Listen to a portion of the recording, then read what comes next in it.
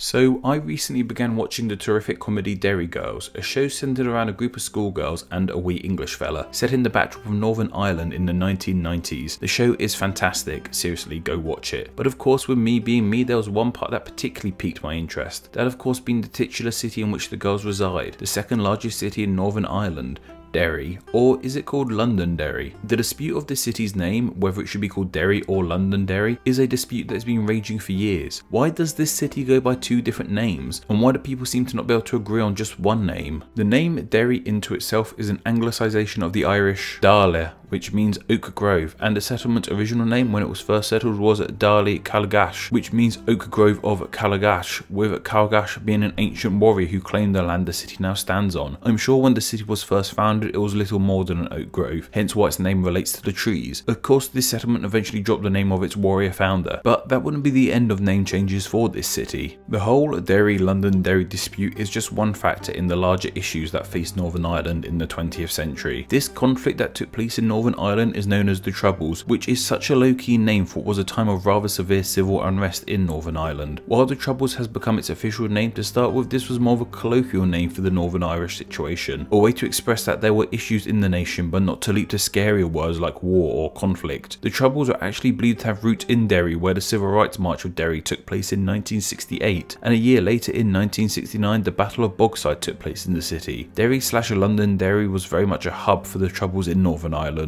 But what exactly were all these troubles all about? Well, this video is definitely not a deep, in-depth look into the complete history of the troubles, but my research seems to say that the troubles were caused by two opposing communities in the region and their religious and national views. And please bear in mind, I'm speaking in majorities here. I'm not saying that everyone from one group of people think the exact same thing. The general consensus is that the Catholics of Northern Ireland were nationalists and considered themselves to be Irish citizens and wished for Ireland and Northern Ireland to be one united country, independent from the UK. UK, while the Protestants of Northern Ireland saw themselves as British citizens, Unionists, and wanted to remain part of the Union with England, Scotland, and Wales. The Troubles in Northern Ireland saw many bombings, riots, civilian deaths on both sides, and assassination attempts on high up figures like the Prime Minister at the time, Margaret Thatcher. The Queen's cousin, Lord Mountbatten, was even killed by a bomb planted on his boat. In 1972, Bloody Sunday took place in our city of choice, Londonderry, leading to 13 civilians shot dead by the British Army. The conflict even spilled out of Northern Ireland. Even in my hometown in the south of England, a bomb was set off, outside of Woolworths of all places, just shy of a month before I was born. Thankfully no one died.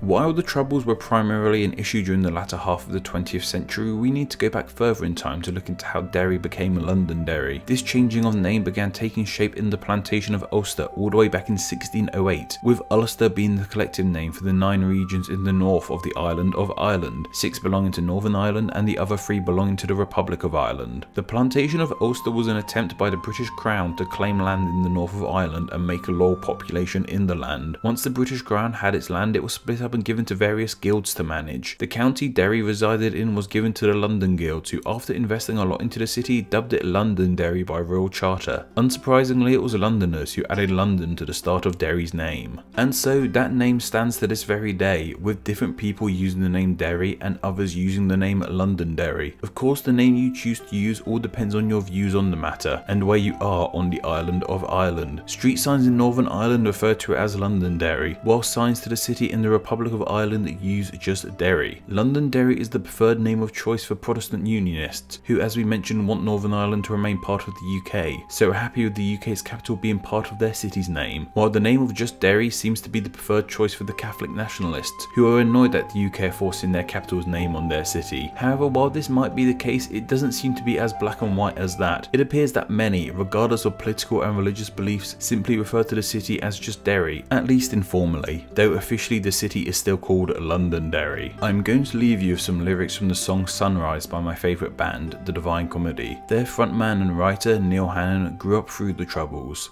I was born in Londonderry. I was born in Derry City. Oh, what a special child to see such things and still to smile. I know that there was something wrong, but I kept my head down and carried on. Who cares where national borders lie? Who cares whose laws you're governed by? Who cares what name you call a town? Who'll care when you're six feet beneath the ground? Thank you to all my patrons who support Name Explain on a monthly basis. Name Explain depends on small monthly donations from fans like you to help keep the channel running. Just a small amount of $2 a month helps out in a huge way, grants you patron exclusive Name Explain extras, and gets your name here with all these awesome people. Thank you.